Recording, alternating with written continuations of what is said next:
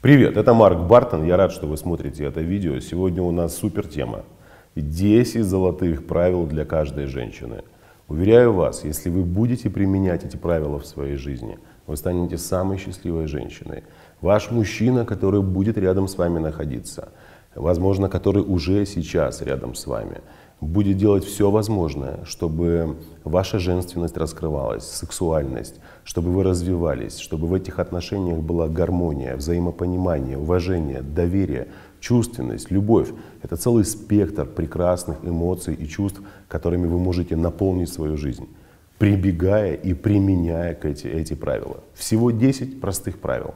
Возьмите ручку либо карандаш, блокнот и запишите их себе – Повторяйте их как мантру каждый день, повторяйте их как медитацию. Делайте все возможное, чтобы эти правила применялись вами в вашей жизни ежедневно. Прежде чем мы перейдем к более подробному рассмотрению этой темы, и я познакомлю вас с этими золотыми правилами, я призываю вас сразу после просмотра этого видео пройти регистрацию на бесплатный онлайн-курс «Я такая одна» удобная или уникальная. Ссылка находится под этим видео. Курс будет проходить на протяжении двух недель, каждый день в будние дни, то есть с понедельника по пятницу, и так э, две недели подряд. Курс уникален тем, что мы затрагиваем самые важные и актуальные темы для абсолютно каждой женщины. Благодаря этому курсу уже тысячи женщин раскрыли и свою женственность, и ответили себе на массу вопросов, что мне мешает быть счастливой, почему мне не складываются отношения с мужчиной, почему я э, постоянно встречаю неудачников, бабников, алкоголиков, мужиков, каких-то насильников эмоциональных и физических, по какой причине это происходит. Все эти темы и многие другие мы затрагиваем на нашем бесплатном онлайн-курсе «Я такая одна, удобная или уникальная». Ссылка на регистрацию под этим видео. Итак, первое золотое правило для абсолютно каждой женщины. Я никогда не отдам всю себя до последнего мужчине. Я могу повторить еще раз. Я никогда не отдам всю себя до последнего мужчине. Вы, наверное, можете сказать, ну как это так? В отношениях каждый человек должен выкладываться на полную. Да, вкладываться в отношения каждый должен в равной степени. И мужчина, и женщина. Но когда речь идет о том, что женщина отдает всю себя, свои ценности, свои чувства, свои эмоции, то есть она начинает предавать себя где-то, мужчина воспринимает это как излишки каких-либо состояний женских. Вот смотрите, богатый человек, у которого есть много денег, у которого есть изобилие, он успешен, он может позволить себе поделиться с людьми, у которых, возможно, нет возможности там, лечить себя, купить себе одежду, еду. Он занимается благотворительностью, меценатством и так далее. О чем это говорит? О том, что человек достиг определенного уровня в своем развитии, а, в своем а, достатке, в изобилии своем и готов поделиться с людьми. Каким образом тот, кто принимает а, дары благотворителя, относится к этому человеку? Он понимает, что это состоявшийся человек, у которого есть много всего, и из своего изобилия он делится с нами. Вот когда мужчина в отношениях с женщиной видит, что женщина жертвует всем, он даже не подозревает, что она отдает последнее. Он думает, что она делится своими чувствами, эмоциями, своими ценностями, своими интересами, жертвует ими, потому что ей просто не надо. Она, ей так хорошо. А женщина действительно выкладывается в отношениях. Она может отказаться от общения с подругами, от своего развития, от своих потребностей, только лишь для того, чтобы быть мужчине где-то угодной, удобной, для того, чтобы у него не возникало мысли, что она слишком много просит в отношениях. Мужчины не понимают этого. Это первое золотое правило. Я никогда не отдам тебе последнего, потому что если я отдам тебе последнее, я буду злиться на тебя, я буду агрессивный, я буду обижаться и буду требовать, чтобы ты вернул мне мои долги. Второе золотое правило, оно в принципе абсолютно логично вытекает из первого. Я в первую очередь забочусь о себе. Потому что если женщина не позаботится о себе, она не сможет ничего дать мужчине, она будет пустой. Ей не с чем будет прийти в отношения с мужчиной. А что значит «я в первую очередь позабочусь о себе»? Это не значит, что если в холодильнике осталось последнее яблоко, вы его съели под одеялом, чтобы никто не видел. Это не говорит о том, что если у вас осталось последних 500 рублей, вы их потратили на себя и проигнорировали потребности своего партнера. Речь идет не об этом. Речь идет о том, что если вы, например, не отдохнули, вот возьмем женщину, которая не заботится о себе, она не отдыхает, она никаким образом не позволяет себе какой, знаете, такой внутренний, душевный и физический релакс.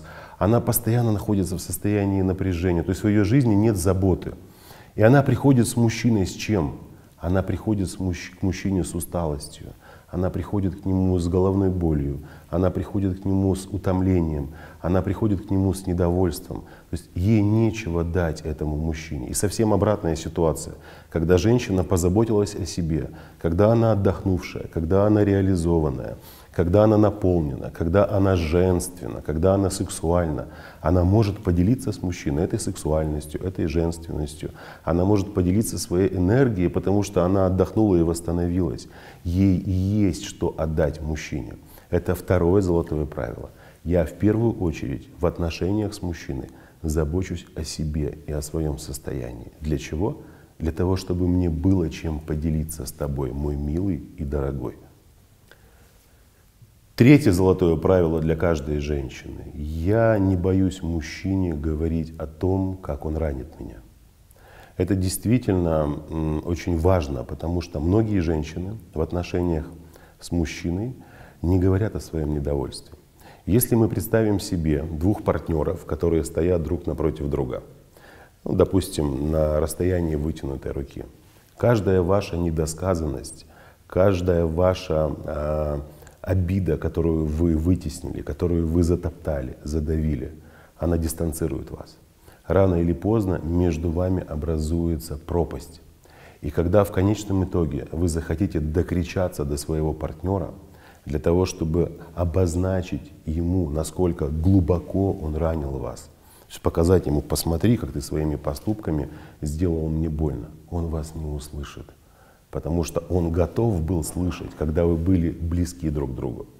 Поэтому третье правило золотое для абсолютно каждой женщины гласит о том, если мой мужчина пропускает через мое сердце свои поступки и действия, и эти поступки и действия ранят меня, я говорю ему об этом для того, чтобы дистанция между нами не увеличивалась. И для того, чтобы эта дистанция не образовала между нами пропасть, яму, через которую мы не сможем не увидеть друг друга, не услышать друг друга. Четвертое золотое правило. Абсолютно каждая женщина должна обозначать свои границы личного пространства. Что значит границы? Мы сейчас не говорим про эмоциональные границы, про границы духовные, физические, сексуальные, то есть ни о каком-либо насилии. Мы говорим исключительно о том, что каждая женщина должна оставаться наедине с собой – со своими мыслями, со своими переживаниями, со своими сомнениями, со своими тревогами. И не должна бояться говорить об этом мужчине, что я хочу побыть одна. Это очень важно, потому что когда женщина уходит в свой мир, в свои мысли, в самопознание, в саморазвитие, она наполняется. А когда женщина наполняется, ей есть чем поделиться с мужчиной, у нее есть почва для разговора она приходит и рассказывает. Это, знаете, можно сравнить э, с путешествием, да, когда, например, ваш мужчина уехал в командировку, он там провел какое-то время, переговоры, встречи, работа, возвращается оттуда, из той страны, где вы никогда не были. И вы задаете ему вопросы, ну как там, у вас появляется интерес, потому что вы понимаете, что мужчина может вам рассказать что-то очень классное, что-то очень забавное, то, чего вы не видели, то, с чем вы не сталкивались. Культура, менталитет людей, архитектура, а, какие-то памятники искусства и так далее, и так далее. Это вызывает очень классное состояние. Ну расскажи, расскажи. Вот когда женщина уходит в свой мир, в мир развития, в мир самопознания – тогда ей есть чем поделиться с мужчиной. Она приходит наполненная и начинает рассказывать ему о том, что она познала без него. Тогда мужчина обнаруживает в женщине не только ее сексуальность, женственность, э, какие-то душевные качества. Он обнаруживает в ней классного собеседника, он обнаруживает в ней невероятно развитую личность. Он понимает, что ему с ней интересно, и он начинает ценить эту женщину. Почему? Потому что она всегда способна познавать этот мир. Он делает все возможное, чтобы также быть интересным для вас. Потому что если я перестану быть интересной для своей женщины, она всегда может удовлетворить свои потребности вдалеке от меня. Она может найти другие интересы. Это очень гармонизирует отношения, очень структурирует их. Поэтому, придерживаясь этого правила, вы научитесь быть как в гармонии с собой, так и в гармонии со своим мужчиной. Запомните его и применяйте. Пятое правило для абсолютно каждой женщины звучит следующим образом. Секс и правда. А, дело в том, что миллионы семей рухнули из-за того, что женщина не честна со своим телом, не честна со своей сексуальностью, не честна со своими желаниями и со своими мыслями. Когда вы вступаете в близость с мужчиной и проживаете минуты наслаждения, действительно это должны быть минуты наслаждения в самообмане, в иллюзии, в каких-то фантазиях, в каком-то терпении, в какой-то жертвенности, рано или поздно это очень сильно сказывается на отношениях. У вас пропадает желание близости, мужчина агрессивно на это реагирует, поведение мужчины в этом состоянии непредсказуемо, приводит к агрессии, к конфликтам. Поэтому секс и правда – это еще одно золотое правило для каждой женщины. Не бойтесь говорить мужчине правду. Выбирайте подходящие формулировки, выбирайте подходящие речевые коды. То есть выстраивайте свой диалог таким образом, чтобы не обидеть человека, но при этом обозначить то, что значимо для вас в близости сексуальной с мужчиной. Не нужно заниматься сексом, если вы не хотите. Не нужно этого делать, потому что хочет ваш мужчина. Нужно объяснять. И здесь очень важно дать понять мужчине, что дело не в тебе, Дело в моих внутренних ощущениях, что мне бы не хотелось сейчас. Также очень многие женщины э, боятся сказать мужчине о том, как бы им хотелось, что им нравится, какие прикосновения, какие ласки, э, в каком формате. То есть не бойтесь этого. Запомните это раз и навсегда. Секс — это правда. Секс — это доверие. То есть близость с мужчиной строится исключительно на доверии.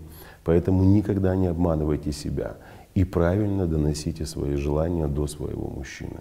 Это еще одно правило, которое поможет вам быть счастливой. Шестое правило. Я как-то говорил в одном из своих видео о том, что ругаться в отношениях полезно. Это действительно, а, это действительно так. И многие из вас могут сказать, Марк, в смысле? Невозможно в отношениях, отношения назвать счастливыми, если там присутствуют скандалы. Вот отношения, в которых люди молчат и их все устраивает, это отношения в большей степени в самообмане. Там присутствует терпение, которое постепенно нарастает, нарастает, нарастает, и потом, как ядерный взрыв, и отношения разлетаются.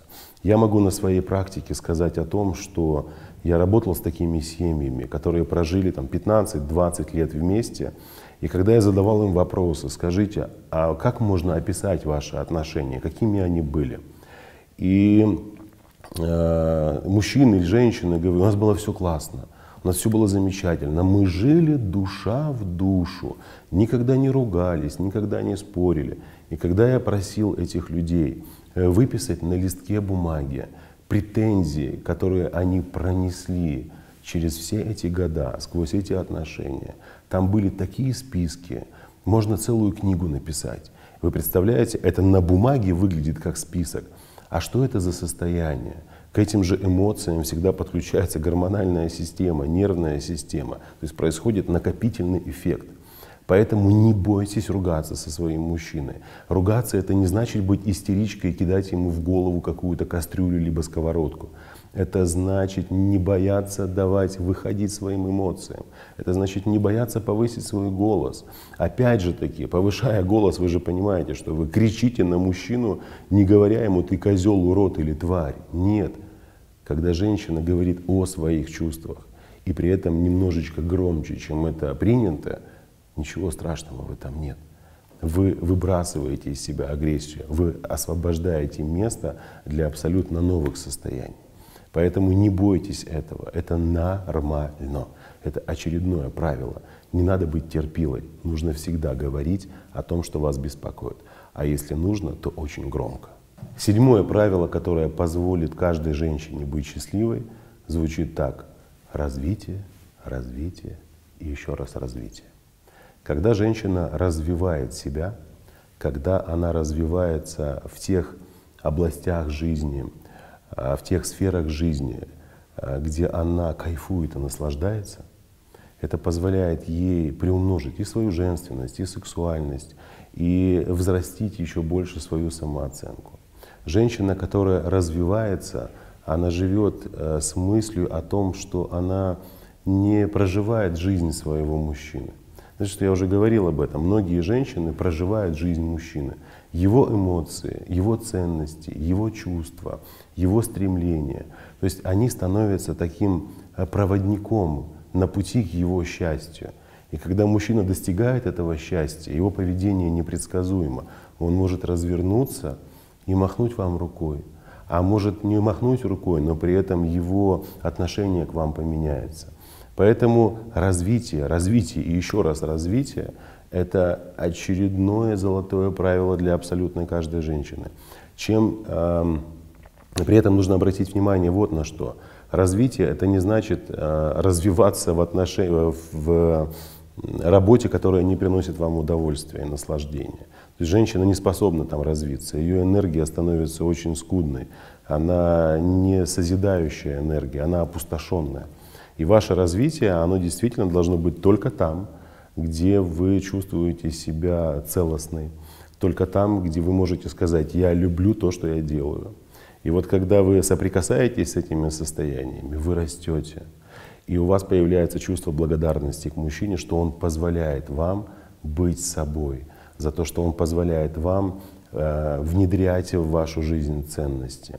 И многие из вас мне э, часто пишут и задают вопросы. Марк, я в отношениях с мужчиной, он запрещает мне там, заниматься каким-то бизнесом, творчеством и так далее, и так далее. Давайте посмотрим на ситуацию очень просто и честно. Нет ни одного человека на планете Земля, который мог бы вам что-то запретить. А, запрещает вам не мужчина, это вы запрещаете себе. Потому что если вы действительно э, хотите заниматься тем, чем хотите, это очень ценно для вас и дорого, вы сделаете это. Еще раз повторюсь, не надо жертвовать собой. Чем больше жертвенности, тем более безалаберное отношение мужчины к вам. Восьмое правило. Я ничего не делаю для мужчины через «не могу». Через «не могу». А, я приведу такие, знаете, элементарные примеры. Например, приготовление еды. То есть по какой-то причине вот в обществе укоренилось, пустило корни а, мнение о том, что есть некие мужские и женские обязанности. Никаких обязанностей нет. Есть желание заботиться о любимом человеке и готовить ему еду. То есть я тебе готовлю не потому, что это моя обязанность, а потому, что я тебя люблю. Я, мужчина, зарабатываю деньги для тебя не потому, что это моя обязанность, потому что я тебя люблю. Все. И когда женщина начинает э, в элементарных вещах, в приготовлении еды, уборка в доме, э, как я уже говорил, там занятия любовью с мужчиной, делать через «не могу», она начинает ненавидеть такого мужчину.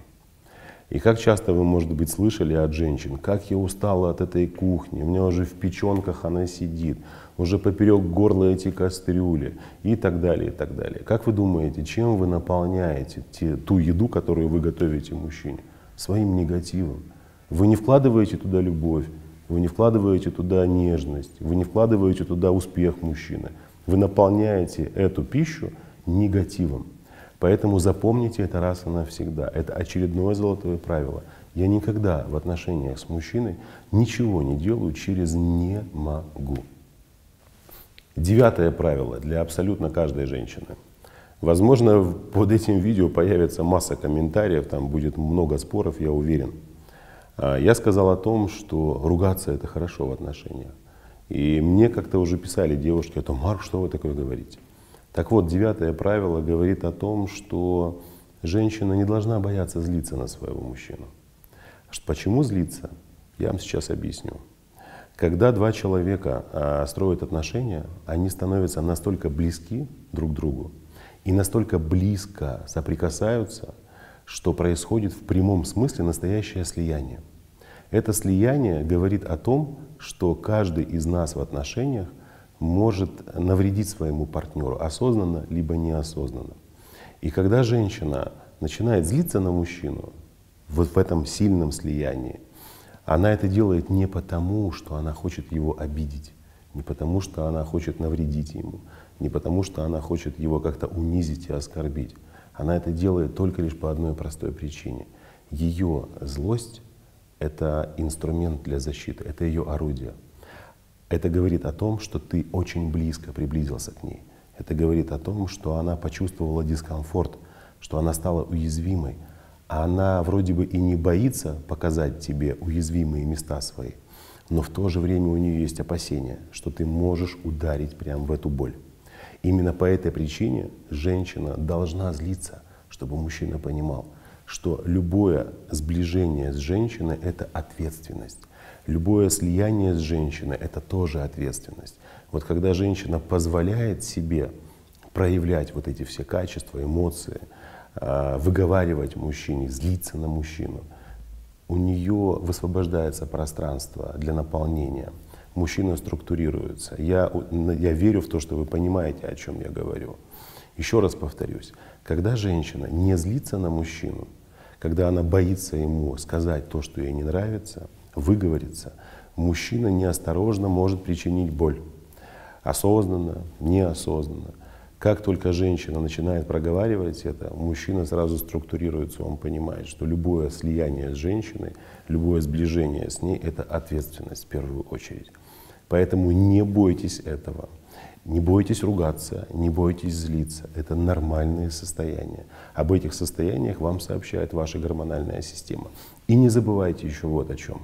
До встречи друг с другом большинство из нас уже имели определенный опыт. На основании этого опыта сформировались травмированные части нашей психики. И теперь любая попытка сблизиться с партнером, она может вас где-то бессознательно возвращать в прошлое. Работают ваши нейроассоциации, и вы действительно можете впасть в такое состояние ежика. Не бойтесь этого. Если это ваш человек, если он вас любит, вы его этим никогда не спугнете. Он просто будет понимать, что слияние с вами — это структурированность и это ответственность. Ну и десятое правило, которое из девятого вытекает, мы сказали о том, что не бойтесь злиться. И когда вы разговариваете с мужчиной после того, как у вас возник какой-то конфликт, какое-то недопонимание, а, говорите о своих уязвимых местах. Не бойтесь этого. Очень многие браки разрушаются из-за того, что и мужчины, и женщины не говорят о своих слабостях, не говорят о своих страхах, не говорят о своих обидах, не говорят о своих каких-то тревожных состояниях. Это о чем говорит? О том, что в отношениях нет доверия и близости. Это говорит о том, что в отношениях нет душевного единения. Поэтому десятое правило гласит очень просто. Всегда говорите мужчине о том, как он своими действиями причиняет вам боль. Обозначайте ему свои уязвимые места. Говорите, что для вас это ценно, важно и дорого. Я очень надеюсь, что вот эти 10 правил, очень простых в применении, помогут каждой из вас достичь гармонии в отношениях с мужчиной, но в первую очередь гармонии в отношениях с собой. Ну и, конечно, я хочу напомнить, что у нас каждый месяц проходит бесплатный онлайн-курс «Я такая одна, удобная или уникальная». Ссылка находится под этим видео. Проходите регистрацию, получайте еще больше полезной информации. С вами прощаюсь, до скорых встреч и пока-пока.